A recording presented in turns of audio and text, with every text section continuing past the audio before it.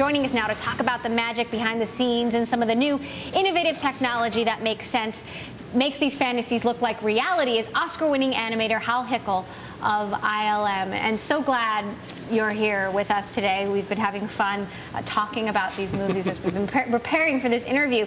Uh, let's start with Transformers.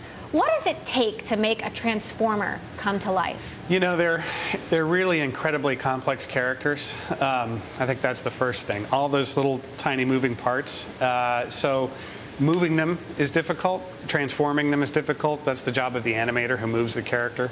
Um, just building them. Our modelers have to sculpt them, if you will, in the computer.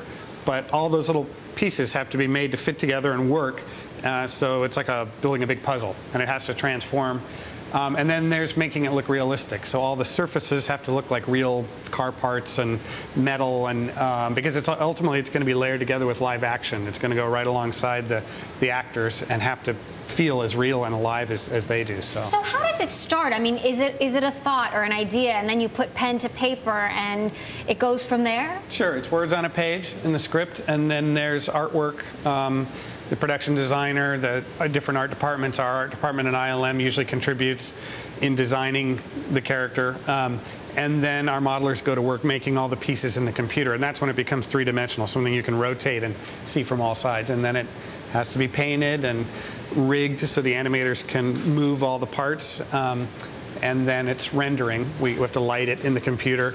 It's very analogous to real movie making. We make things, we paint them, we light them, we take pictures of them, if you will, that's rendering the images, and then we layer them together with the live action. So how long from start to finish can this take? You know, it depends on the project. Um, uh, usually we're on a picture for around a year, but shot production, actually producing the shots that go into the movie is more like six months, although uh, kind of an unfortunate trend for us right now in the industry is that those those schedules are shrinking. We have less and less time to do more and more because every film they're asking for more more stuff. Now, you guys were also part of Cowboys and Aliens, which, mm -hmm. just, which just hit the box office. Is there a difference between creating an alien and creating a transformer?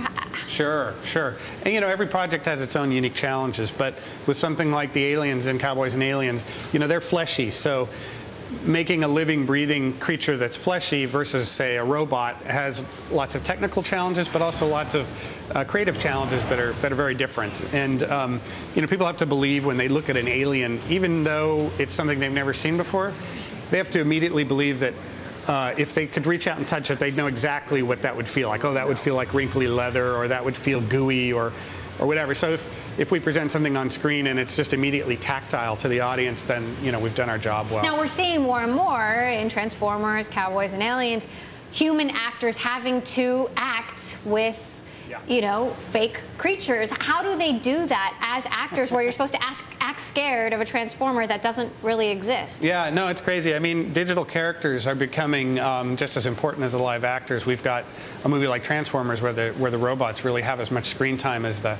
as the actors do. And the actors, yeah, they have to pretend to react to something that isn't there in front of them. And it's a challenge, but you know, acting is pretending anyways. I think it's just an extension of what, what they do so well already. And how much does it cost to bring one of these creatures to life? You know, uh, pricing things isn't really my end of the business. I'm, I'm more the creative guy. Um, I think that it can run, uh, you know, upwards of, of a million dollars a minute. I've heard that figure thrown around, but that's sort of an industry-wide figure. That's a not an dollars a figure. minute, uh, you know, uh, in, for, of time in the movie or yeah, time in development? Time in the movie. Time in the movie. Yeah. Okay. Screen time. Screen time. And you also worked on Jurassic Park, which you say was a game changer in the industry in terms of special effects. What's next? Um, What's going to surprise us in terms of special effects innovations yeah, down the line? I mean, a lot of things in visual effects have become evolutionary rather than revolutionary. Jurassic Park was definitely a watershed moment, a revolution in, in effects. Nothing was really the same after that. Now we generally see improvements, like you'll see a movie like um, uh, Half-Blood Prince, Harry Potter and Half-Blood Prince, and the fire in the cave around Dumbledore and Harry. We did that that was a big leap forward with CG fire, and we did some more CG pyrotechnics in Avatar, for instance. So those kinds of things that are very difficult to do, natural phenomenon like water, smoke, fire, those are the hardest things to do, and those are just gradually getting better and better. Um, in terms of something that's really going to just change the whole nature of visual effects, I don't know what that's going to be. Uh, we're all, you know, just kind of moving ahead, improving things as we go. But, what about 3D? 3D's been a big change for us, um, for the whole industry.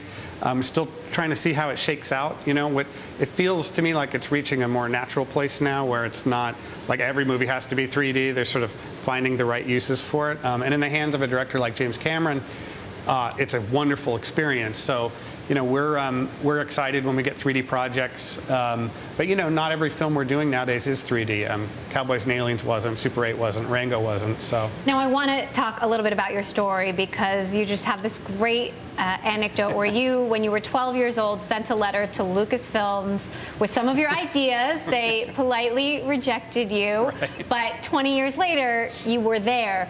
These days, you know, how does somebody make that kind of a dream come true? You know, it sounds cliche, but uh, sticking with it, obviously in my case, finally paid off. Um, uh, I think that um, it's important not to get discouraged because timing is huge, like a lot of industries. So if you're a young animator coming out of art school and you've sent out your demo reel to a bunch of companies and none of them have bit, send it out again in six months or four months or two months. You, you never know how things are going to shake out. I, I get uh, emails all the time from animators saying, you know, are you guys crewing up? What do you have going on? And sometimes I have to say, sorry, we're full, you know, or it's slow or whatever. And then two weeks later, oh, this huge project just came in, and now suddenly we need people. So, you know, stick with it and just do it. You know, that's the, the old Nike motto. But um, really, uh, particularly in this day and age where equipment, computers, software is so more, so much more accessible than it was years ago. There's really no reason not to just dive in. I mean, make, make flip books if you have to. You know, just get out there and, and do it. Don't don't wait for somebody to invite you. Persistence, I think that probably works in a lot of industries. All right, Yeah. Hal Hickel of Industrial Light and Magic, thanks so much for joining Thanks us. Thanks for having me. I'll see you at the movies.